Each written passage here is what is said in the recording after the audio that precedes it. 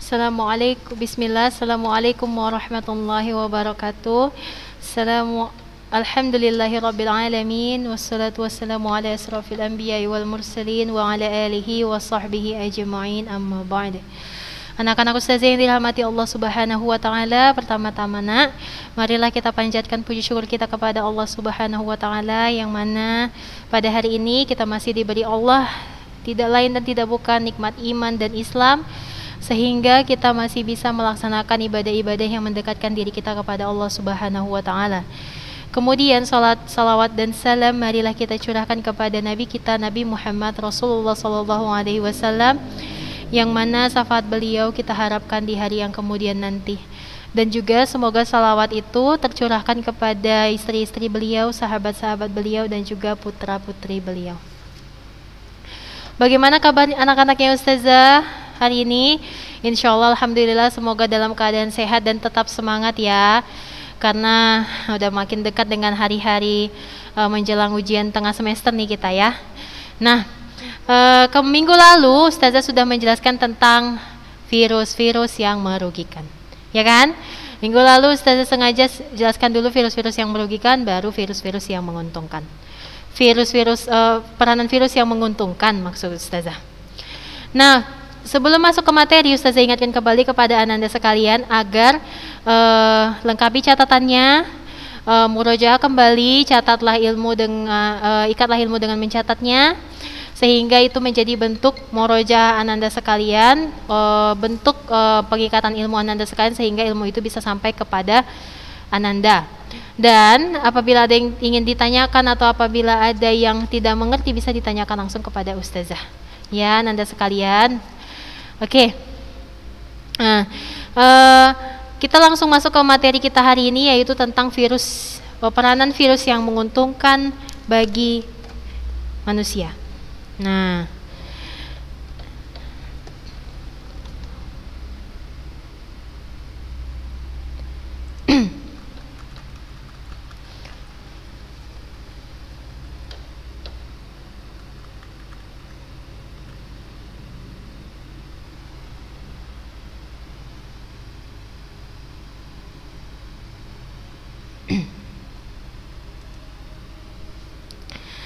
virus uh, beberapa jenis virus itu nak uh, dapat dimanfaatkan untuk menghasilkan produk yang bermanfaat untuk meningkatkan kesejahteraan manusia.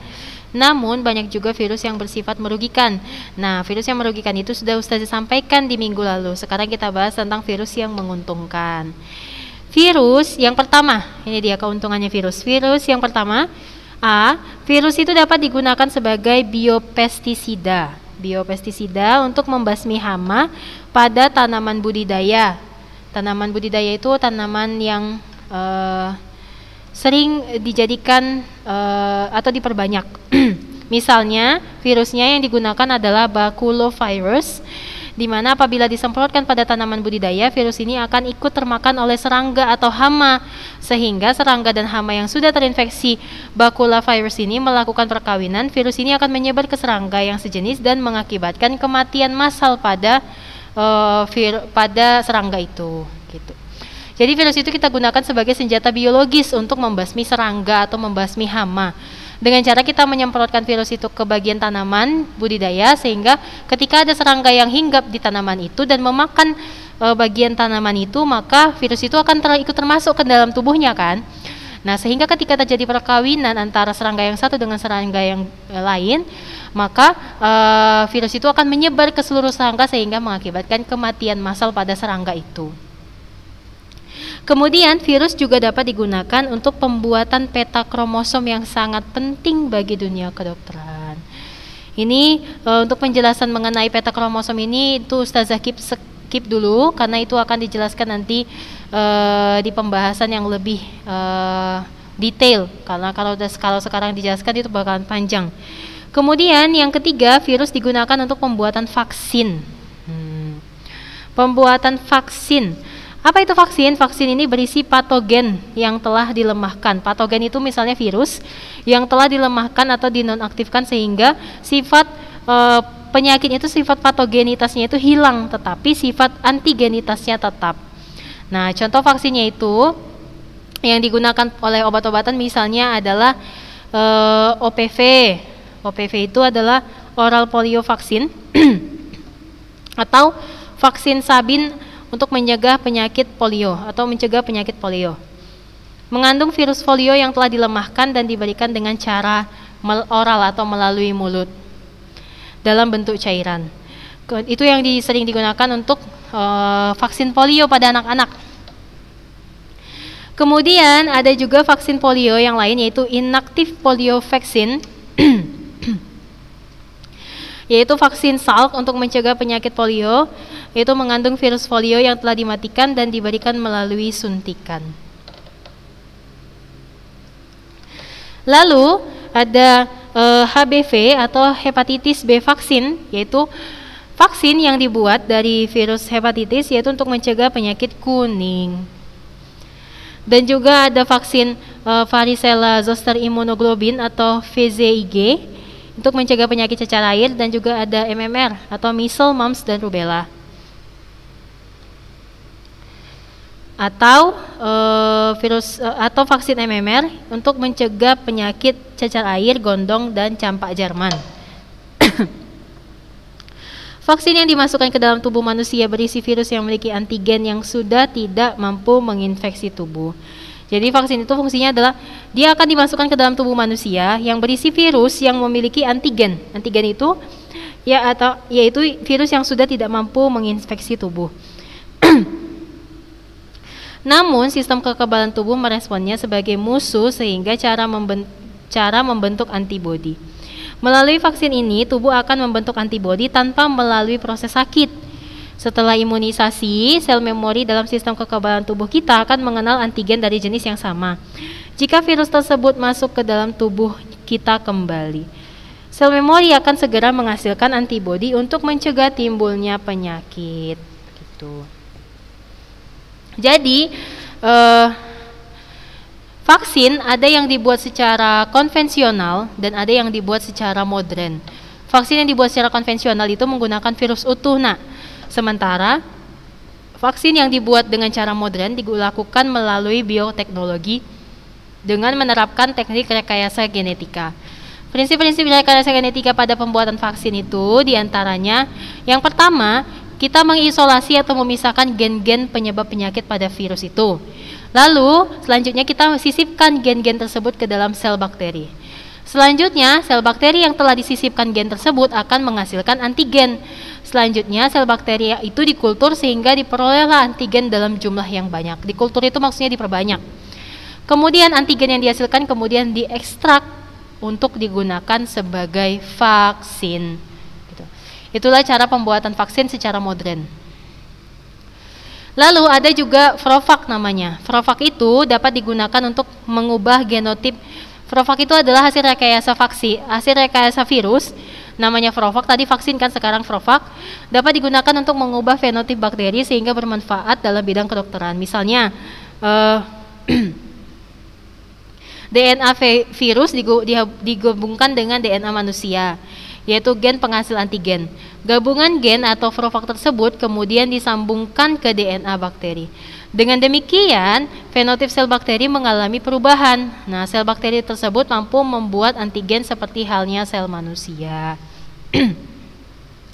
Virus digunakan untuk memproduksi interferon namanya. Interferon adalah protein yang dihasilkan oleh sel normal sebagai respon terhadap infeksi virus. Interferon itu uh, fungsinya untuk mencegah replikasi virus pada sel hospes atau sel yang dihinggapinya atau sel inang begitu. Itulah tadi beberapa penanganan atau vaksinasi atau uh, peranan virus yang menguntungkan untuk kesejahteraan manusia. Kemudian, nak, uh, Ustazah ingatkan kembali uh, mengenai cara bagaimana sih Ustazah cara penyebaran dan pengendalian penyakit yang disebabkan oleh virus, itu kan? Karena kita sudah belajar tentang uh, peranan virus yang merugikan, peranan virus yang menguntungkan, begitu. Nah, ingat ya nak, penyakit yang disebabkan oleh virus itu dapat menular dari penderita ke organisme lain yang sehat. Nah, sebagian besar penyakit yang disebabkan oleh virus itu sangat sulit ditembuhkan. Oleh karena itu, Nak, perlu adanya usaha pencegahan terhadap serangan virus. Nah, dengan demikian, penyakit yang disebabkan oleh virus dapat dikendalikan. Gitu. Salah satu usaha pencegahannya adalah dengan melakukan vaksinasi tadi. Nah, salah satu bahan virus e, vaksinasi itu adalah salah satu bahan vaksin yang berasal dari virus. Ada dua macam vaksin yang mengandung virus yang dinonaktifkan. Ad, uh, ada dua macam vaksin. Yang pertama adalah vaksin yang mengandung virus yang dinonaktifkan dan vaksin yang mengandung virus yang dilemahkan. Nah, kedua macam vaksin ini ada yang dimasukkan ke dalam tubuh melalui suntikan dan ada yang melalui oral atau mulut. Vaksin yang dimasukkan ke dalam inang dapat menghentikan replikasi e, virus sehingga virus tidak dapat bertambah banyak pada tubuh inang. Selain dengan vaksinasi, infeksi virus juga dapat dicegah dengan cara meningkatkan daya tahan tubuh. Caranya dengan menerapkan caranya dengan apa Ustazah? Dengan menerapkan pola hidup sehat. pola hidup sehat. Nanti uh, berikut ini pola hidup sehat yang akan meningkatkan daya tahan tubuh uh, Ananda sekalian agar tidak ter mudah terinfeksi virus atau mikroorganisme uh, uh, mikroorganisme patogen lainnya. Ustazah uh, bacain. yang pertama, pola makan teratur. Ananda sekalian harus mengatur pola makan Ananda, yaitu pola makannya yang paling baik tiga kali sehari. Makanlah sebelum lapar dan berhentilah sebelum kenyang. Hal ini bertujuan agar agar metabolisme ananda itu dalam tubuh dapat berjalan dengan lancar. Gitu.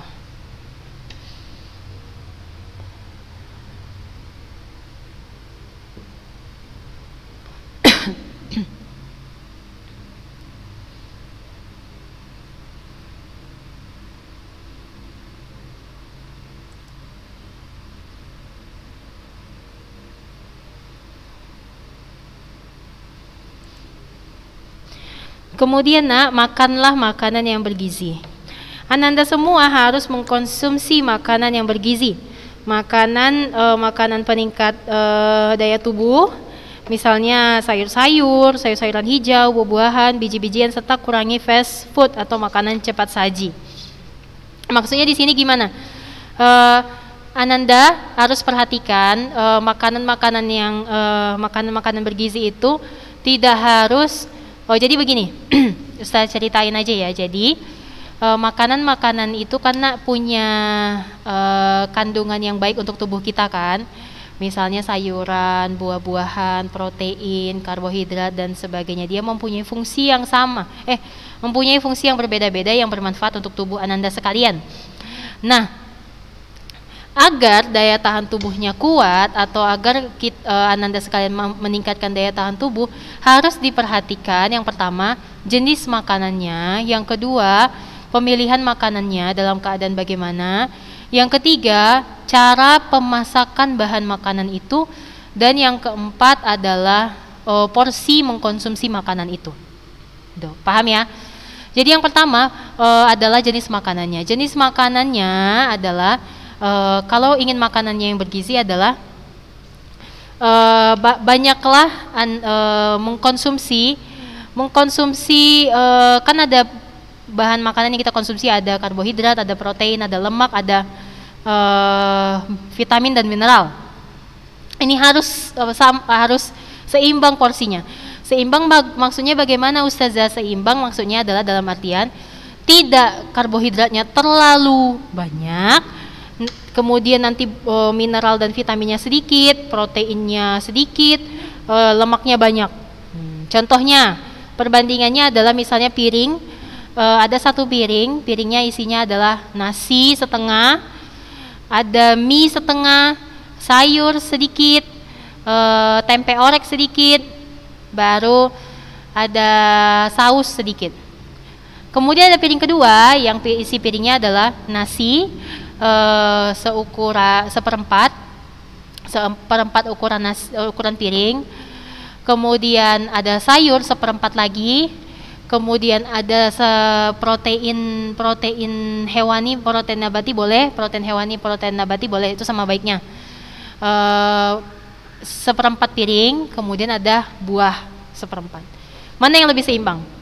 Lebih seimbang piring kedua kan? Makanya itu Ustazah bilang, nak e, pemilihan bahan makanan atau e, bahan makanan apa saja yang menjadi yang Ananda makan itu menjadi e, faktor kualitas e, tingginya atau peningkatan kekebalan tubuh Ananda.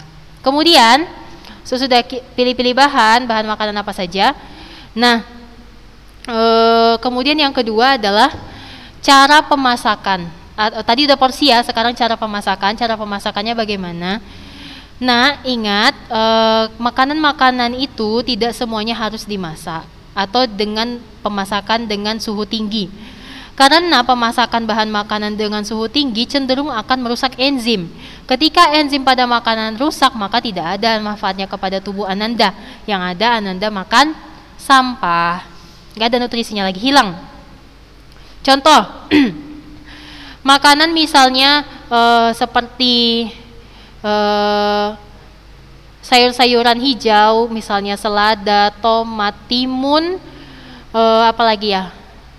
uh, wortel, kemudian uh, apa apa namanya uh, sayur-sayuran yang bisa dimakan yang biasa dimakan mentah itu sebaiknya dikonsumsi mentah seperti tomat gitu. Karena kalau dengan dimasak, dengan digoreng, ditumis dan sebagainya, itu akan merusak enzim karena enzim pada makanan itu juga sangat baik bagi tubuh kita. Jadi ketika dipanaskan atau dimasak dengan suhu yang terlalu tinggi maka akan merusak enzim. Ketika enzim sudah rusak maka nutrisi makanan akan berkurang. Atau dalam kata lain uh, serat pada makanan Ananda akan hilang yang yang akan berganti dengan lemak jenuh gitu. Dan uh, kurangi konsumsi minyak minyak makan. Karena minyak makan itu adalah uh, lemak jenuh. Kalau mau minyak kalau mau numis atau makan makanan yang yang diolah dengan minyak, usahakan minyaknya minyak uh, lemak sehat, misalnya minyak zaitun atau minyak kok, uh, coconut oil yang pure, yang yang 100% coconut oil, atau uh, bisa juga lemaknya itu tidak dari minyak, tetapi lemaknya dari lemak uh, nabati yang lebih baik, misalnya alpukat Alpukat itu kan mengandung lemak baik kan, bukan lemak jenuh gitu. Jadi kita itu harus pandai-pandai memilih uh, apa saja yang kita masukkan ke dalam tubuh kita. Jadi kayak gini loh, tubuh kita itu anggap tubuh kita itu adalah uh, mesin. Nah, mesin itu bisa ber, berproses atau bisa berproses jangka panjang atau bisa berproses dengan baik atau menjalankan fungsinya dengan baik apabila kita memberikan bahan bakar yang baik pada mesin kita kan. Nah gitu juga uh, pada tubuh kita nak, tubuh kita itu ibarat mesin, jadi apa pun yang anda masukkan ke dalam tubuh anda itu menjadi kualitas mesin itu. Nah, kalau yang anda masukkan ke dalam tubuh anda kualitasnya baik, kualitasnya baik, tinggi nutrisi dan sebagainya, maka tubuh anda akan akan uh, menjalankan fungsinya dengan sangat baik juga. Nah, hasilnya juga dengan sangat baik, makin fokus, makin rajin, makin uh, mudah nggak mudah lupa, makin nggak mudah ngantuk, makin dan sebagainya sebagainya. Nah itu efeknya. Tapi kalau yang dimasukkan ke dalam tubuh Ananda itu tidak ada manfaatnya ke dalam tubuh Ananda, Anda masukkan Anda makan fast food, makan Indomie, makan uh, kentang goreng, makan uh, fried chicken, makan sebagainya sebagainya, fast food, apalagi pizza, burger dan sebagainya. Yang mana kalorinya tinggi, cepat kenyang memang, tapi nutrisinya rendah. Gitu. Lebih baik mengkonsumsi makanan yang rendah kalori tapi nutrisinya banyak gitu. Walaupun memang agak-agak gimana gitu di lidah ya, makan tomat, makan ini, makan dan sebagainya. Tetapi kan sebenarnya e, kelezatan makanan itu kan di mulut aja awalnya karena sampai ke dalam perut Ananda, Ananda kan nggak ngerasain apa-apa. Gitu. Jadi usahakan makannya seimbang. Boleh diimbangi seperti uh, makannya itu makan makanan uh, pokoknya uh, makan makanan sehat tapi ustazah nggak larang cheat day ya maksudnya kalau cheat day atau oh, mak mau makan fast food juga boleh cuman diatur po porsinya jangan fast food satu minggu itu makan fast foodnya enam hari makan sehatnya satu hari jangan Jadi fast foodnya itu coba dihilangkan satu kali seminggu dulu makan fast food makannya seimbang dulu. Supaya apa? Supaya nanti uh, efeknya akan terasa sama Ananda. Ananda makin fokus, makin rajin, makin pintar, makin uh, lancar, makin dan sebagainya sebagainya. Karena apa? Karena makannya diatur. Dan uh, untuk pola makan tadi usahakan seperti yang uh, uh, hadisnya Rasulullah kan bilang sepertiga untuk makan, sepertiga minum, sepertiga napas. Makanya itu tadi uh, makanlah sebelum lapar dan berhentilah sebelum kenyang. Jadi makannya porsinya juga jangan jangan kayak orang nggak makan-makan, porsinya langsung kayak porsi kuli jangan. Porsinya sedikit saja, mm, mm, apa optimal, porsinya secukupnya, tapi makannya makanan yang berkualitas. Gitu. Paham ya? Ya, karena itu akan meningkatkan kekebalan tubuh Ananda. Ketika kita mempelajari virus, nah sebenarnya kita mempelajari kekebalan tubuh. Jadi virus itu kan patogen ya, patogen atau musuh kita, musuh dari luar tubuh. Nah, jadi untuk supaya Ananda tidak terkena virus atau supaya Ananda bisa memproteksi diri Ananda adalah Ananda harus membangun kekebalan tubuh Ananda di tubuh Ananda. Cara membangun atau meningkatkan kekebalan tubuh adalah supaya tidak terkena virus adalah dengan mengatur kesehatan tubuh. Contohnya mengatur pola makan, mengatur nutrisi yang masuk gitu. Tidak hanya tidak hanya ini ya, tidak hanya penanganan dari luar misalnya pakai masker atau apa dan sebagainya tapi kondisi tubuhnya tidak dijaga, begadang, kemudian makan makanannya tidak diatur dan sebagainya itu malah maka makin menurunkan sistem kekebalan tubuh Ananda sehingga Ananda mudah terkena virus. Paham ya? Itu tadi makan makanan yang bergizi. Oh iya, uh, untuk makan makan untuk uh, pemilihan nutrisi makanan tadi nak, uh, apa usahakan jangan usahakan sering uh, minum air yang teratur. Air itu uh, sangat penting ya untuk uh, menjaga atau menstabilkan sistem metabolisme dalam tubuh Ananda. Minum air putih biasa saja karena insya Allah air putih itu bakalan menjadi uh, mempercepat proses metabolisme dan juga dia sebagai pengganti uh, kondisi tubuh yang tadi sudah bermetabolik atau uh, mengalami proses metabolisme. Air sangat penting. Banyak-banyak minum air putih. Kemudian selanjutnya cara selanjutnya adalah ananda sekalian olahraga yang teratur untuk menjaga kekebalan tubuh. Ananda juga harus membiasakan diri berolahraga secara teratur. Hmm, dapat dimulai dengan berolahraga dari pagi uh, setiap pagi, uh, setiap pagi hari setiap harinya, pagi hari setiap harinya. Olahraganya nggak usah lari keluar atau uh, jogging keluar, bersepeda di luar dan sebagainya tidak usah seperti itu karena olahraga itu banyak macamnya ya. Ada olahraga itu dia uh, bisa di rumah saja namanya home workout. Home workout itu anda olahraga tidak harus dengan lari, tidak harus dengan maraton, tidak harus dengan jal, uh, jalan kaki keluar atau bersepeda di luar tidak harus karena meminimalisir tadi untuk uh, penularan COVID-19 sebaiknya olahraga di rumah olahraga teratur seminggu minim maksimal tiga kali seminggu atau dua kali seminggu maksimal supaya untuk menjaga karena kan kita makan tuh makan yang eh, yang yang makan yang sehat kita imbangi dengan olahraga teratur supaya eh, badan kita itu eh, metabolismenya lancar kemudian juga eh, tidak kita tidak menimbun aja tapi ada yang kita keluarkan eh, kalorinya begitu dan juga olahraga di rumah itu bisa hit cardi, bisa apa saja misalnya kayak home workout, bisa pilates, bisa hit cardio dengan beban Ananda sendiri dan sebagainya. Itu bisa Ananda cari-cari nanti atau uh, di browser uh, bagaimana cara home workout di rumah supaya tadi untuk mengatur kekebalan tubuh atau meningkatkan kekebalan tubuh gitu. Nah, kemudian selanjutnya yang harus Anda lakukan adalah tidur yang cukup. Jangan begadang. Nah, ini benar ya. Ini adalah satu hal yang sering diremehkan tapi sangat benar. Ya. Tidur yang cukup atau e, jangan begadang. Istirahat yang paling baik ya nak itu adalah tidur. Ketika Ananda tidur itu adalah e, Ananda posisi Ananda adalah sedang mengistirahatkan kerja segala kerja tubuh. Segala sistem kerja tubuh Ananda istirahatkan dengan tidur. Nah, setiap hari Ananda sebaiknya tidur uh, eh, 6 sampai 8 jam. Jadi seperti hadis Rasulullah itu kan, Rasulullah sunnahnya adalah tidur di awal malam dan bangun uh, tidur di awal malam dan bangunnya nanti sebelum subuh, biar agar bisa melaksanakan sholat uh, malam begitu.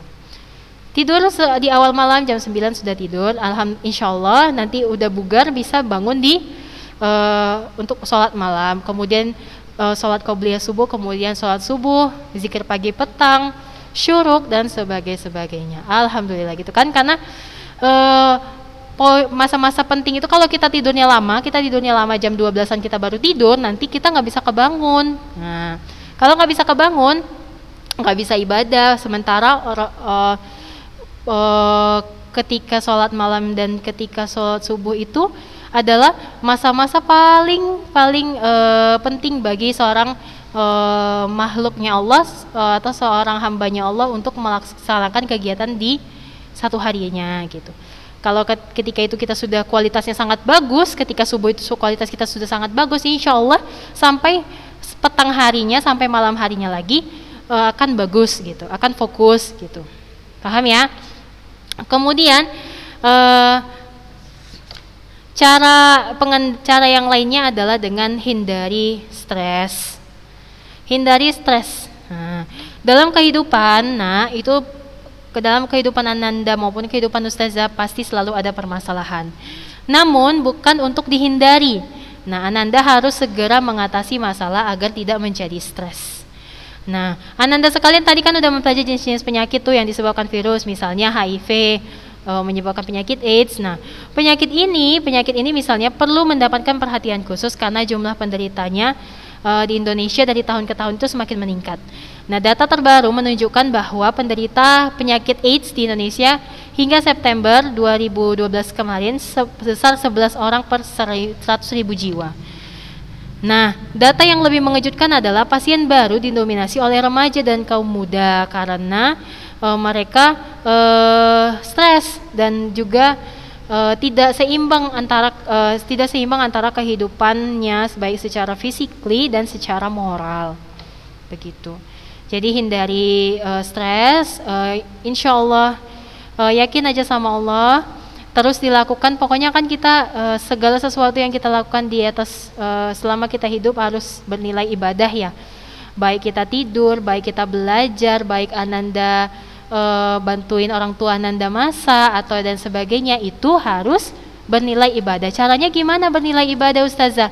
ya dengan itu tadi sembari mengerjakan itu sembari berzikir kepada Allah semakin sembari mengerjakan itu sembari uh, melakukan hal-hal yang uh, ibadah-ibadah yang bisa dilakukan sem, uh, sambil mengerjakan itu gitu jadi insya Allah niatnya mengerjakan niatnya mengerjakan itu membantu orang tua dan sebagainya akan bernilai ibadah insya Allah ya jadi itu saja mungkin pertemuan kita hari ini itu dia tentang virus. Insya Allah minggu depan kita akan masuk ke Kingdom Monera atau bakteri. Ya Nanda sekalian, Ustazah harapkan kepada Nanda sekalian, uh, insya Allah nanti uh, setelah ini nanti Ustazah kasihkan langsung kuisnya kepada uh, wali kelasnya dikerjakan semaksimal mungkin insya Allah melalui kuis itu nanti uh, sebagai uh, bekalan Anda sekalian untuk menghadapi PTS. Gitu ya. Itu saja mungkin dari Ustazah. Ustazah harapkan Anda sekalian tetap semangat. Insya Allah dengan kita mempelajari virus, kita mempelajari makhluknya Allah yang sangat kecil ini, tetapi banyak manfaatnya, banyak pembelajaran yang kita ambil dari si virus yang kecil ini. Oke, okay? saja dari Ustazah mungkin kita akhiri pertemuan kita hari ini dengan doa kafaratul majlis nak. Uh, Subhanakallahumma wa bihamdika asyhadu an la ilaha anta astaghfiruka wa atubu ilaik. Ustazah akhiri Assalamualaikum warahmatullahi wabarakatuh.